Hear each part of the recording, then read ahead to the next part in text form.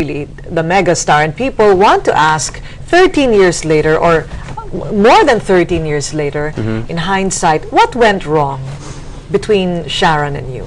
Well, we were young, you know, we should give that. Um, now that I'm looking back, you know, uh, there's certain things that I did that I shouldn't have done, and, and certain things in the industry that really would can tear you apart. Um, you know, when when you decide on something, or when you think you've decided the right thing, it, it may not always be right. Um, a lot of things have happened in the middle. Um, maybe we, I can discuss that with her when I see her, because I heard that there's some kind of um, um, She said that there were loose ends that Yeah. have not been Right. settled. Yeah, I don't want to bring that up, but at least, Uh-huh. yeah, when she comes back. Well, it's all over the that. news. I mean, you can't right, escape I know. it. So, there's just so many things that we need to settle. We didn't, we talked once when, when KC visited us, but uh, um, we really didn't talk a l- for a long time, and we didn't get into details. Mm-hmm, You know, but I thought uh, we had settled it then, you know, but I guess. Was it know, also lack of communication between you and Sharon? Right, and that's one of the reasons, you know, communication and taking things for granted and so on and so forth. Uh-huh. And, uh, uh, well, after Sharon, did you vow never to want to have a relationship anymore with anybody in the same business, show business? Right. That's why my uh, when I had relationships uh, after that, it was uh, it was just okay. Who would be nice to you, not thinking that you're in the business. And that's why I decided to just go out with people who are not in the business. Yeah. Um, okay. Uh, this whole Sharon thing really stuck to you for the longest time. Up to now, people are still wondering, asking Sharon, Gabby, Gabby, Sharon. Is this something you think you will never live down?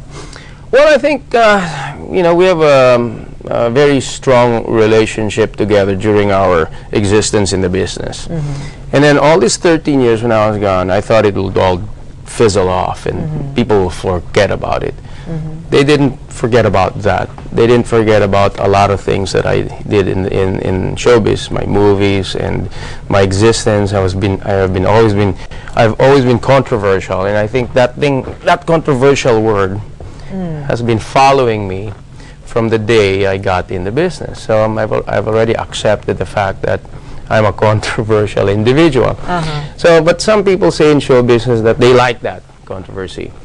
And between me and Sharon, I don't think people will ever forget, you know, that we are, you know, a team. Mm-hmm. Mm-hmm. And just like other couples who have a team, mm-hmm. we've established that. Right. In the 80s, it was us. In the movie industry, it was us. And I don't think that's ever going to go away. And of course, you have KC. Well, in To remind everybody of that union. i- in, addition, you have KC, who's now been very active for the past two years, and more so now.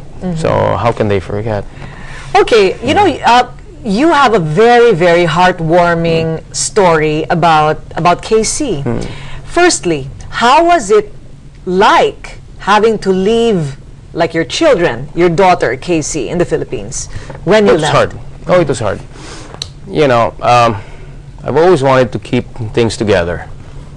You know, maybe I'm not too good at that, but at least I have the heart for it.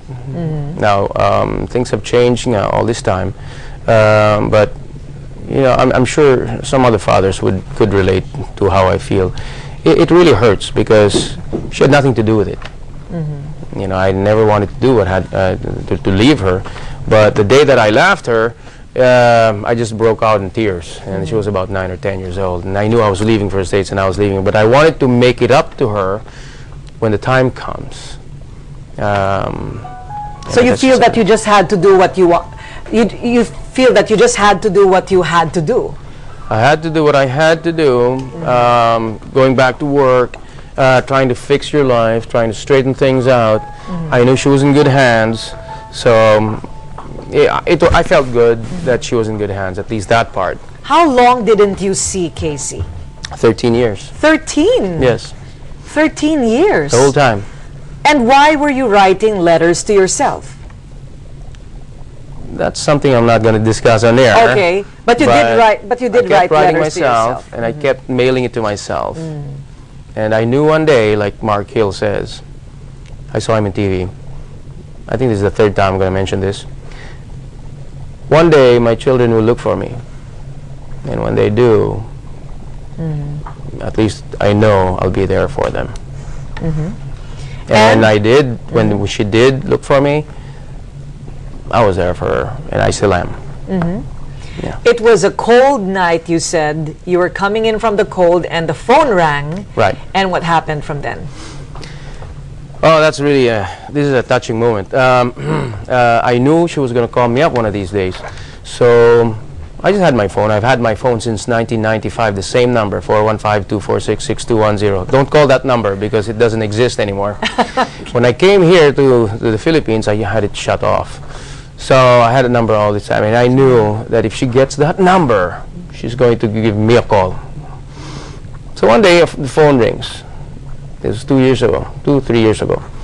And I've never talked to her. Her voice has changed. She's a big girl now. And deep down inside, somehow, I knew it was her. And the only question she asked was, Hello? I would like to speak to Gabby Concepcion, please. Then I grabbed the phone and I, was, uh, said, I stopped. It was cold out in the evening, getting something from my car. And then I said, Is this my baby? And she goes, uh, is this Gabby Concepcion? I said, yes, it is, baby. And she goes, pa. Oh my God. I knew it was her. I knew it was her.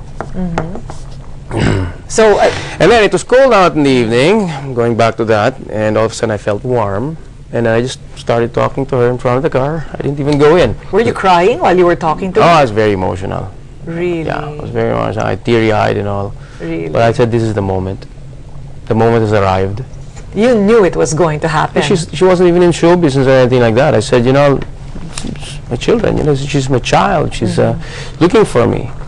And uh, who cares what she becomes, whether she becomes uh, stu- a superstar or, Mm-hmm. Right, you know, she, doesn't, she has no job for the next 20 years, whatever. Uh-huh. She's still my daughter. I talked to her and I felt so good. And that, that mm. feeling you, you cannot buy. Uh-huh. Mm. You look so much like her, or she looks so much like you.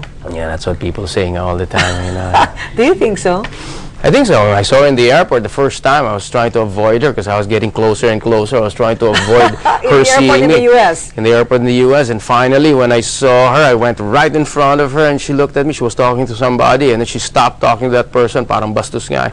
Pero she looked at me like that and she goes, Opa! And we started hugging each other and then she goes, Oh, I miss you. I miss you. I miss you too. Cry me a river. And then boom, I, I, I pulled her out and she goes, Pa, why do we look like each other? That's what happens, dear. Oh when you my give birth to somebody, they usually look like you.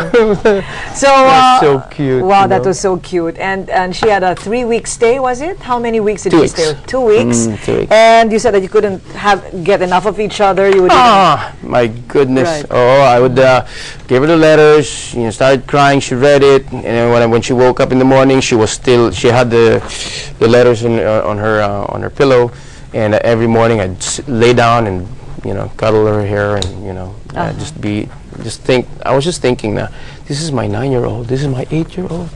This was my baby. This is the girl that I used to hold in my hands and, and wash her in, in the you faucet. sound like a typical father, but Yeah. you really go through that, Oh, right? I did that. Yeah, I, I, would, I would clean her and you know and all that. And now look at her. She's Uh-huh. 22 years old, 21 years old at that time. You know, and I felt Uh-huh. you know so good about it. Well, then again, we, we got way late. I mean, we were supposed to answer a question, which is how did it happen that Gabby was going to come back for his father, uh, but now he's like in one snap of a finger, a superstar again. So we talk about Gabby today and what's in store for him and his future when we come back. You're watching Korina today.